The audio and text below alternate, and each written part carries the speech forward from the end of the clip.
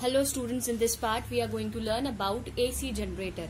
In class 10th also you have studied about AC generator and today we are going to discuss the AC generator in detail. So the first question come what is this generator is? As the name given generator means something which is going to be produced but it is a misnomer. Why I am saying it is a misnomer? Because it is a machine which converts the mechanical energy into an electrical energy. Means that we are doing some work manually and that will be converted into an electrical energy and that device is called the generator. If here we will see that generator is also called as an dynamo. Okay? So now what is this dynamo is? In car normally we are saying that we are using our dynamos. Okay? So generator basically as the name given that it is going to produce an alternating current to it. Here you can see if it in, in its construction we have a two bar magnets which have a north and a south pole. Now the question come you might think that how we can separate the poles. We cannot separate the pole but we have arranged in such a manner suppose this is my south and north pole and another is south and north pole like this we have arranged that opposite poles will be and we have kept here. This is called the armature. This is your iron core and we have called this armature or this rectangular coil as a b c d which have a armature which have a brush b1 and b2 which is providing an electrical connectivity in the circuit. And we have the slip rings. That is helpful to produce an alternating current. Okay. As we have a north and the south pole so obviously we know that the magnetic field lines will start moving from north to south. And they are going to link with the coil. Obviously when the magnetic field is established from north to south they are going to link with the magnetic uh, to the armature or to the coil we can say here we are going to discuss each things in detail so this is the short introduction about your alternating uh, generator or we can say that is a generator or a dynamo so now we are going to discuss about its construction working and theory so now we are going to discuss about its principle. It works on the principle of electromagnetic induction. What is electromagnetic induction? When the uh, coil or a conductor is moving in a uniform magnetic field. So the flux got changed and because of the change in flux it will produce a magnetic field. And because of that we have it will produce an electric field and because of that we have found the current in it. And that is what we call that it works on the principle of electromagnetic induction.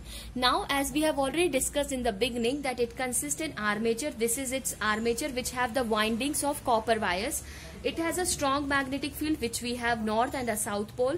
It has a slip rings. The slip rings which I have written here with R1 and R2. This slip ring have the work to uh, rotate the or we can say to shift the cycle of the current. Means that initially the output we are going to receive from uh, in a positive direction and later on because of the slip rings we found that we have the uh, current direction in the reverse order. Okay it has the brushes. Brushes b1 and b2 basically it will provide an electrical connectivity in the circuit. So now we are going to discuss about its theory so now try to understand its working that how this AC generator works. So we are going to discuss about its working.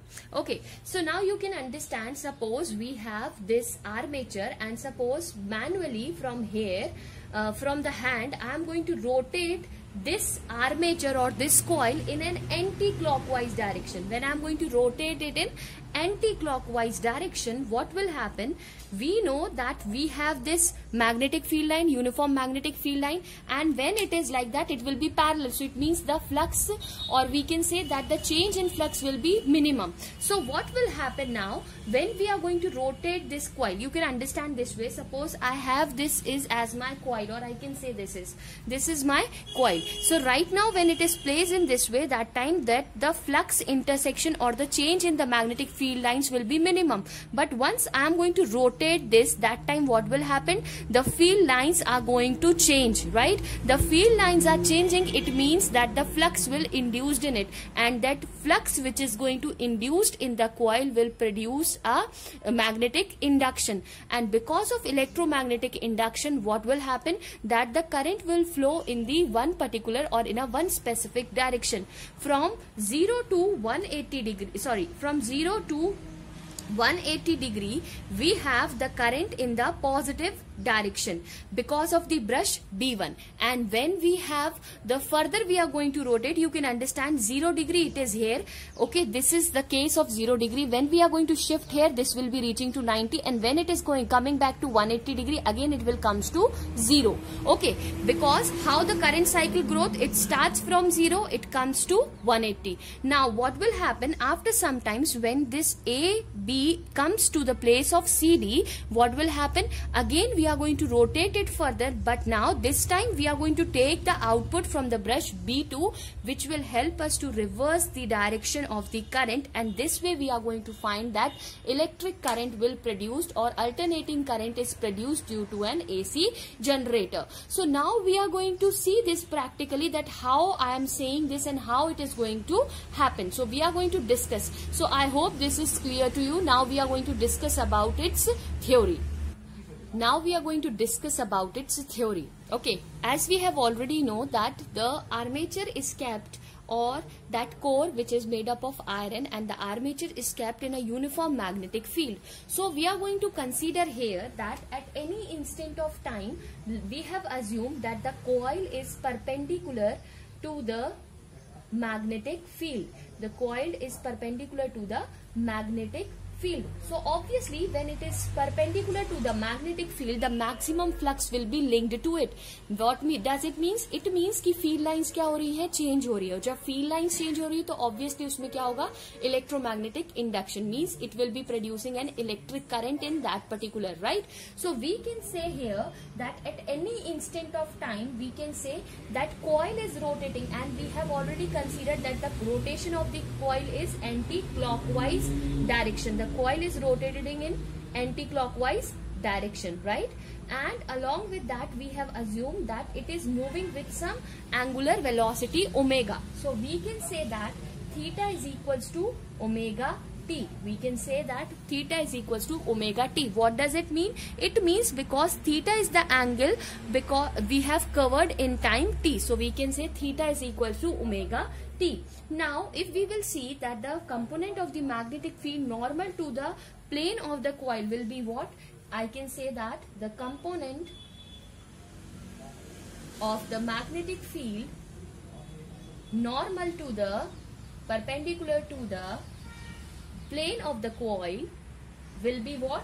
It will be B of cos theta and just now we have discussed what is the value of theta I can say b of cos of omega t right now suppose we are going to consider that the magnetic flux means I can say write it down directly the magnetic flux phi b is linked with a single turn means मैं एक turn की बात कर रही हूँ then what will be my case it will be b cos of omega t into a where A is what? A is the area of the coil right? We have considered for its single case. Now what we are going to say is suppose as we know that it has the number of windings it means it has n number of windings. So the flux linked with the coil will be what? It will be multiplied by n. So it will be n b a cos of omega t. Why it is n? Because it has a number of turns right? It has a number of turns in the coil. So what we are going to find is from the Faraday's law, what we have know, we know that from the Faraday's law of electromagnetic induction, according to Faraday's law of EMI, electromagnetic induction, what it says? It says that is EMF induced in the coil is directly proportional to the minus of d phi by dt. Now what is that d phi? Phi value you have that is the linked with the flux. So I can substitute this value here.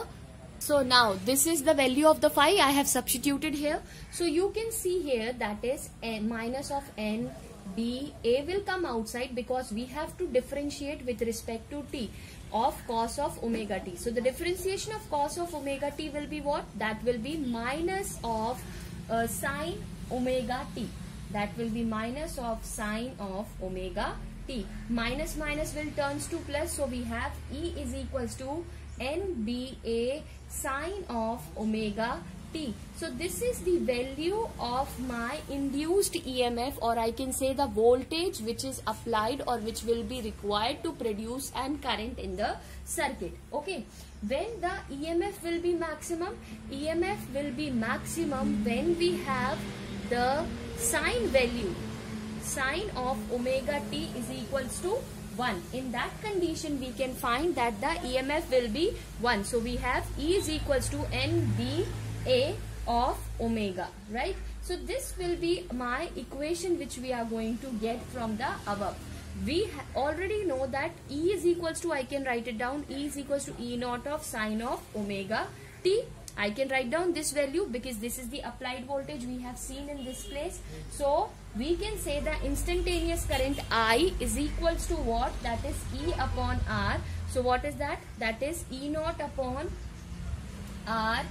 That is sine of omega t. This is will be the value of your current in the circuit which is going to be produced. Okay, now we are going to discuss its cases or its variation.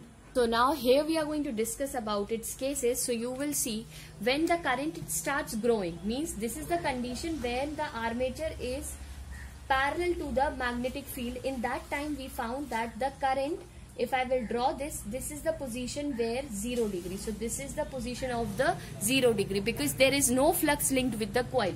Now when the coil starts moving and it is, has to reach to the maximum, what will happen now? This is the case when the current grows to 90 degree. This is the position when the current goes to 90 degree. Now the uh, coil is rotating further and when the coil is rotating further, it means the current which is already or the current which is produced in it starts reducing and it reaches to 180 degree and this will be my 0 right? Now again my coil is moving in an anti-clockwise direction and it has traveled maximum to minus 270 degree and then again it has reached to 360 degree. This way the current in induced in the AC generator.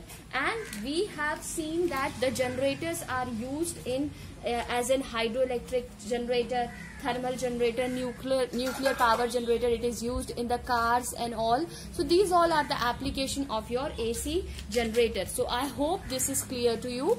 Thank you